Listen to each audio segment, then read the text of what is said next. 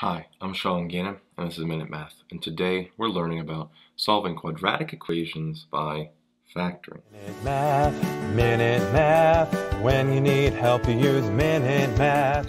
We're given this problem right here. 35k squared minus 22k plus 7 equals 4, and we want to solve this by factoring. Hmm. Well, let's get k by um, that equation equal to 0. So subtract a 4 to both sides. We're left with 0 here, the 35k squared comes down, minus 22k, and then 7 minus 4 is, well, good old 3. Hmm. Well, this, right off the bat, doesn't look like something I can easily factor. So I'm going to use grouping here. So I'm going to take 35, multiply by 3, and that gets me 105. Well, I'm not going to go through all the factors of 105. Well, maybe I will. But I'm to just basically kind of, when I go about this, I don't, especially when we have large numbers, I don't just try to list every single possible factor. I go through ones that I quickly can find and see, well, which ones add to be a negative 22. That's the goal here. And actually, speaking of that, negative 22, if the two numbers multiply to be 105 but add to be negative 2, a negative 22, we both of our numbers have to be negative. All right, so we have positive 105, negative 22, both will be negative. So negative 1 times a negative 105 clearly meets positive 105, but not even close to be adding.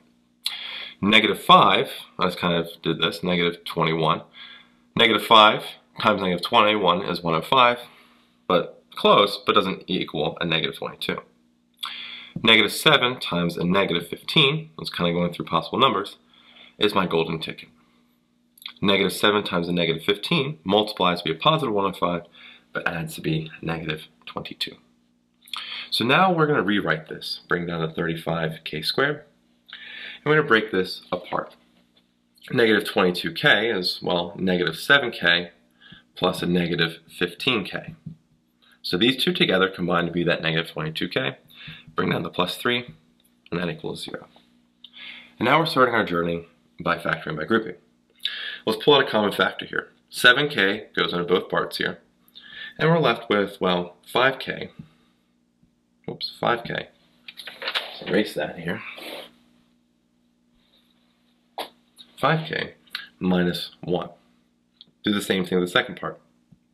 Negative 3 we can pull out. And we're left with, again, 5k. Did it again. 5k. But this case, uh, minus 1 again. Notice we have 5k minus 1 and 5k minus 1. If we pull that out, we have 5k minus 1 here from both parts. It's being multiplied, the 7k comes down, and the minus 3 comes down as well.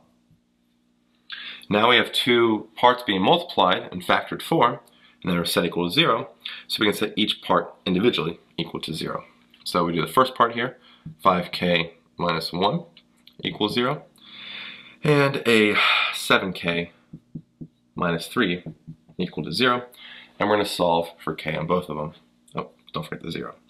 We add a 1 here to both sides, and 5k equals a positive 1. Divide both sides by 5, and k is by itself, but it's equal to 1 fifth. Let's do the same thing here. We add a 3, if I can write a 3, to both sides. 7k equals a positive 3. Divide both sides by 7, and k equals a 3 sevenths. And so our two solutions here can be combined to be in one statement. K is equal to 1 fifth and 3 sevenths, and that is our final answer. Hope this video was helpful, and if it was, please subscribe to his YouTube channel and like this video. This helps us make more free math lessons for you and for everyone else. So as always, thanks for watching. Minute Math, Minute Math, when you need help you use Minute Math.